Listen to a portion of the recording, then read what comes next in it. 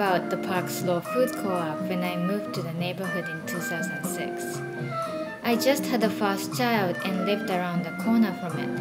I thought it's great. It's close. I can get organic and local produce and don't have to spend fortune. So I went to the orientation. When they explained that I had to walk 2 hours and 45 minutes every 4 weeks, the first question I had was, could I hire someone else to walk for me? Obviously, I had no understanding of what the co-op meant. Our our intuition was that the way you own this place is from your labor.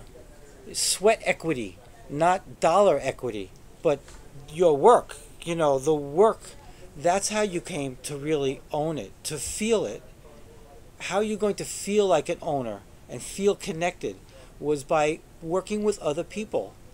And hopefully it will get into your brain and get into your heart that this is yours. Co-op, I think, opened in 1973, mm-hmm. along with many other grassroots organizations, because it was right after the 60s, right? See, because these are these are people who thought there was something wrong with a lot. We thought there was something wrong with the United States foreign policy. We thought there was something wrong with um, the way black people were treated, the way women were treated, the way gay people were treated. So we thought there was something wrong.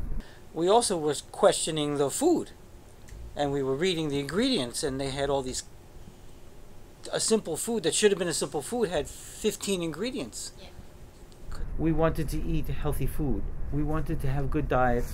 And this was in the ground a couple of days ago. It's very fresh.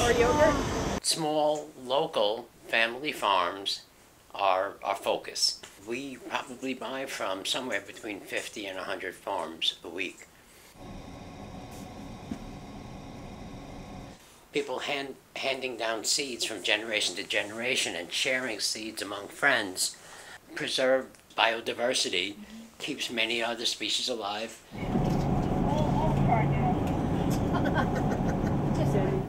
The co-op is kind of an extremely diverse community. We have a mission at the co-op, and that is to be cooperative mm-hmm, and to be mm-hmm. helpful and to support one another mm-hmm. uh, and treat each other with respect. Mm. So if you feel that that's been violated, that would be uncooperative. We felt that we needed to also be more proactive in terms of trying to find ways to diffuse misunderstandings, you know, racial disharmony, uh, and so on.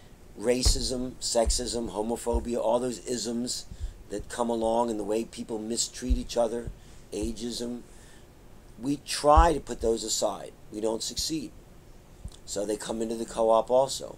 But we, tr- unlike the store in the corner, we try to address it.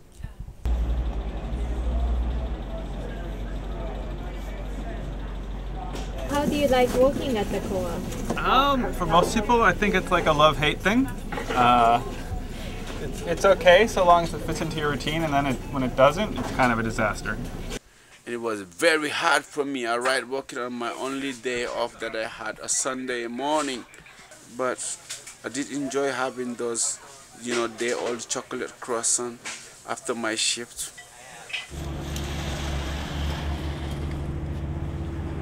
We knew that Americans were supposed to go out and have individual success. You know, we, we understood that. But we thought that it was important to have community success. And we looked at the word cooperation and said, well, cooperation means working together. And then it turned out that when we started the co op, that the better we could do the cooperation part, the better we could have the food be more affordable. So it really grew out of our personal desire to eat differently and a political desire to see the world produce food differently. So, and to create community around those things. After spending five years at the co op, I began to feel more and more drawn to this community.